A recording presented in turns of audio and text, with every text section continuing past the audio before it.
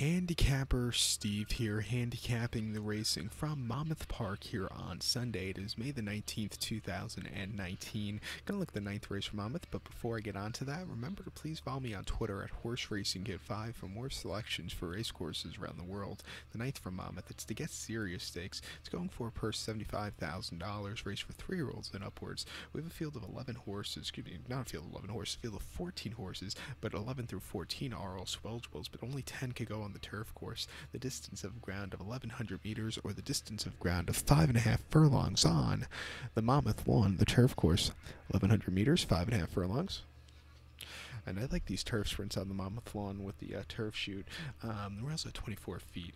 My top selection, I'm going to go with the 7 horse Vision Perfect. I'm going to go 7284 in the Superfecta. 7284 Super. Top selection, 7 horse Vision Perfect. This 4 is a 7 year old horse by Pollard's Vision. John Servis trains. Um, Nick Juarez gets the leg up, or excuse me, Jason Servis trains. Uh, Nick Juarez gets the leg up. The horse's most recent outing came 9th of March at Gulfstream. Five rounds in the Silks run. The horse second by three and one quarter lengths. He stalked early on after dueling, after not the best beginnings. He had a little bit of a turn of foot at the end, but it, it, and then he got caught.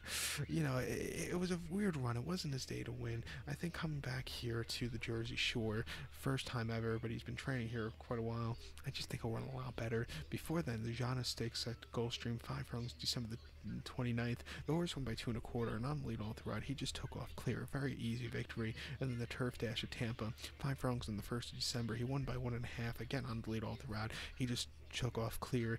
They did run this horse in the Breeders' Cup Turf Sprint last year at Churchill in very wet ground, which I don't think he handled. And plus, the horse were a lot better. He finished 13th by 20 and a half lengths. He steadied that day, and he just wasn't getting a piece of the ground. It wasn't the day to win. And then he ran the Turf Monsters, where he finished second by a neck at Philadelphia. He was wide and just couldn't get into it at the end.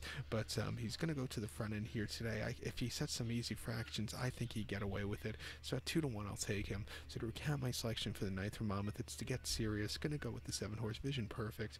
I'm going to go seven two eight four in the Superfecta. So good luck to all, and please follow me on Twitter at Horse Racing Kid Five. Good luck, everybody.